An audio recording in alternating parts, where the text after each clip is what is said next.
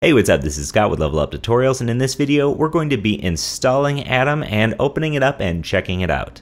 So let's get going on that right now.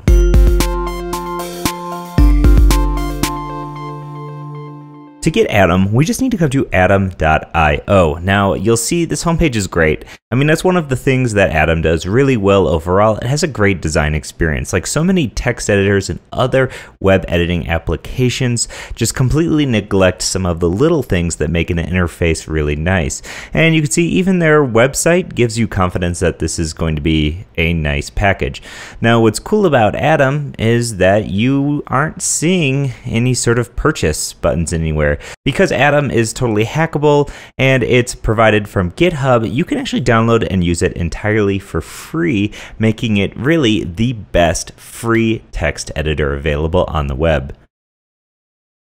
In addition, there's a ton of people using Atom, uh, and because of that, there's a ton of resources available, both for packages, plugins, and people using it suggesting different items and things to do. Now, there's great documentation, there's a blog, there's themes, there's packages, and that's just the start of it. So, throughout this series, I'm going to be showing you some of my favorite packages. We're going to be diving in and we're going to be and we're going to be customizing and changing Atom. We're going to be going over some of its interface finer features, some features that you can do with Atom to improve your workflow, and just use Atom as what it says a modern, approachable, and hackable text editor. Now, one of the cool things about Atom is it's actually built in essentially HTML, JavaScript, and CSS. So if you know those technologies, extending Atom is really super simple. In fact, it uses a stack called Electron, which is built by GitHub to allow you to use those technologies in an application setting like this. And Electron is actually really, really cool if you take a look at it. But what's great about this is you could inspect aspects of this user interface simply like you would inspecting something with Chrome and then you can then come in and modify it using plain old CSS to write your themes and things like that making it really super hackable like it says. Okay, so that's enough introduction while this is downloading. I'm going to wait the one minute and then we're going to open up this zip and install it on our computer. Okay, so we've downloaded Atom for Mac.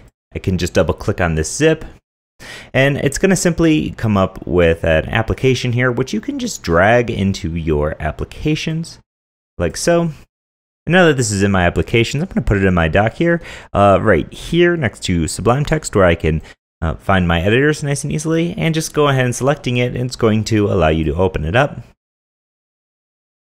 And here we have Atom.